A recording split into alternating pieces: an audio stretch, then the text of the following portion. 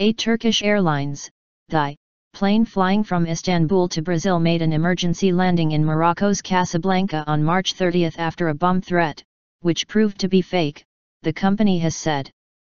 A search on the Boeing 777-300ER plane bound for Sao Paulo discovered the threat was false and the plane was being allowed to continue on its route, the company added. The flight was diverted to Casablanca Mohammed V International Airport, the company said in a statement. The plane, which left Istanbul at 9.30 am, landed in Casablanca at 3.30 pm. The necessary investigation on board has now been terminated and it has become clear that the notice in question was untrue. A written note warning of a bomb had been found in one of the plane's lavatories. It was found by a member of the cabin crew who then alerted the pilot. Upon being alerted, the pilot decided to ask for permission to land at the nearest possible airport. THY said the plane would now continue its journey to Sao Paulo.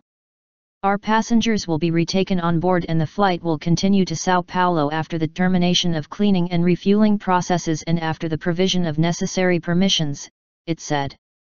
The incident came a day after a plane bound for Tokyo returned to Istanbul's Ataturk International Airport early on March 29, after a message C4 cargo was discovered by the cabin crew in the lavatory.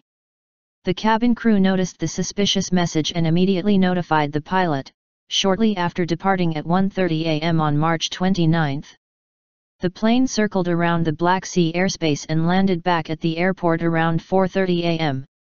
A passenger on a THY plane flying to the Turkmenistan capital Ashkabad from Istanbul had caused panic in mid-November 2014 after shouting that he had a bomb attached to his body, showing a lump concealed under his clothes that later turned out to be a liquor bottle.